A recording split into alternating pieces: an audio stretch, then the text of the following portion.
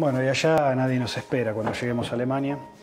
Así que bueno, pero esta vez es diferente. Vamos los cuatro más armados. Y acá tengo los pasaportes, pasaportes argentinos y los cuatro pasaportes alemanes renovados con el ticket de los cuatro.